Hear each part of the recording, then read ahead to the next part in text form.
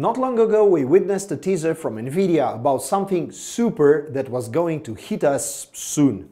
I'm very happy to present you two graphic cards from this lineup. I'm talking about RTX 2060 Super and RTX 2070 Super, two GPUs that are trying to refresh the RTX 2000 series and bring bigger or smaller improvements over the base models. Stay with us throughout this video and we will tackle those two cards to see what they are made of.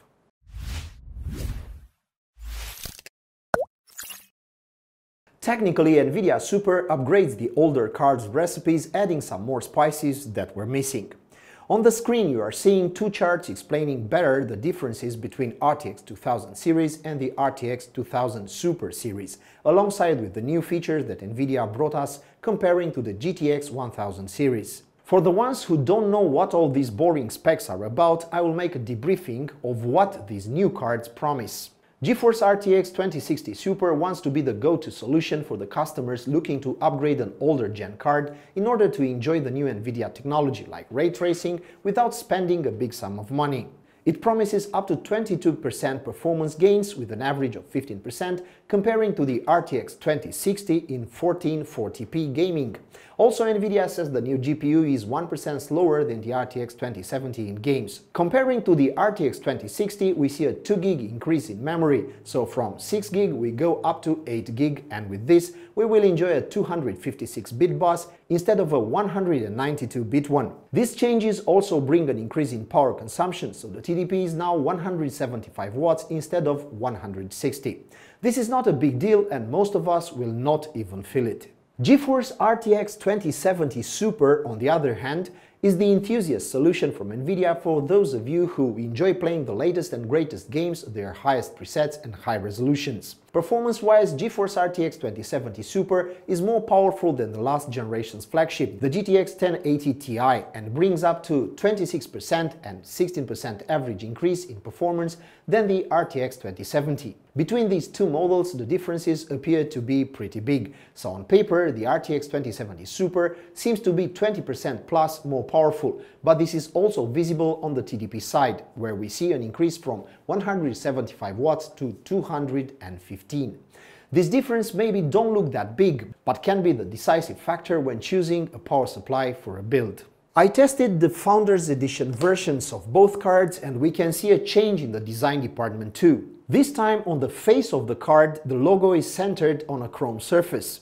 This is a small detail which offers an interesting look, but at the same time is a fingerprint magnet and not just once I found myself cleaning the card to take some pictures of it. The cooling is achieved using two fans and below them is a big radiator. On the back side of the cards, more specifically on the backplate, Nvidia left another mark under the form of the Super logo. This backplate is also a piece of the cooling system, but I feel that it unleashes the heat generated by the card on the inside of the system. Visually, I think Nvidia nailed it and delivers products that looks and feel premium. The cooling is also decent and from the acoustic point of view, we are good. The GPU being silent in our test system.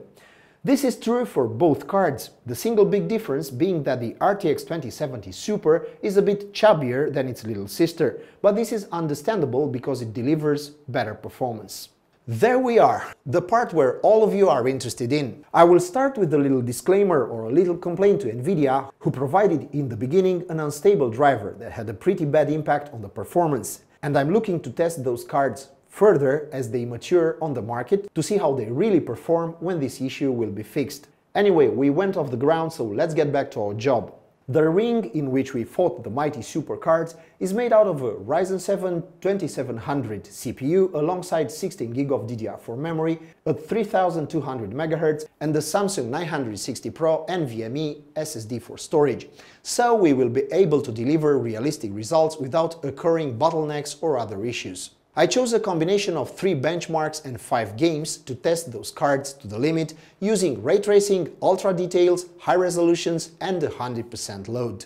When it comes to benchmarks, the RTX 2060 Super and the RTX 2070 Super achieved great scores, and we can see an improvement over the last generation of cards. They are in that 10 to 15% difference that Nvidia promised, so we are good.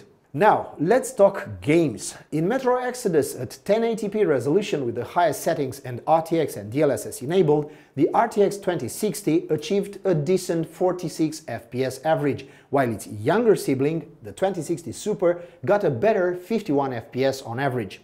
Those results were topped by the 2070 Super with 59 FPS, one frame shy of that magical 60 FPS mark.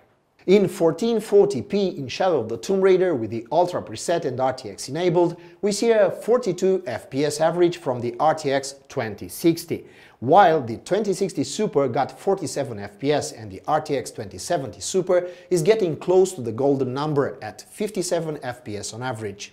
In 4K, the difference is again pretty visible and the RTX 2070 Super gains some distance over the other two cards, getting 54 FPS in Far Cry New Dawn at ultra settings, while the RTX 2060 Super scored 45 and the RTX 2060 only reached 41 FPS average. As you were able to see, there were some differences between those three cards, pretty big ones in some cases, but in the Ubisoft titles I've encountered some anomalies. For example, in Far Cry New Dawn, RTX 2060 scored better than the RTX 2060 Super and the 2070 Super at low resolutions.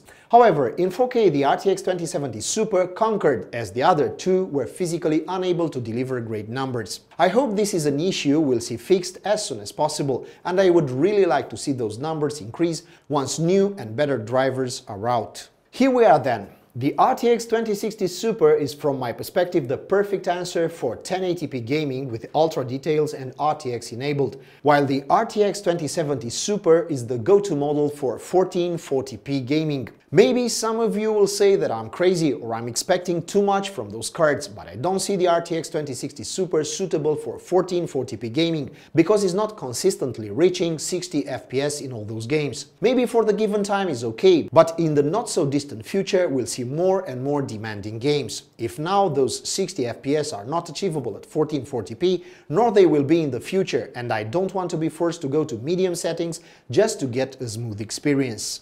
In conclusion, RTX 2060 Super and RTX 2070 Super are two, well, super cards. Performance-wise, they are nice and real upgrades compared to the previous models, and they are perfect for the people that haven't got a taste of the ray tracing pie NVIDIA is offering. And I think that now it is the right moment to do so. Alongside those new cards, we have some delicious prices with a pretty small difference between those two cards. Now it's everyone's decision if they want to pay the extra cash for some nice performance boost or if the RTX 2060 Super is enough for their needs and wallets, of course. Both are nice offerings for their prices and represent a nice upgrade for the people still rocking an older generation card. Now we will just have to wait for custom models from partners and see what they can deliver. Both cards are right now available for sale. I promise you we'll test further these cards with better drivers, hopefully. And if you enjoyed this video, please subscribe to our channel. Thank you.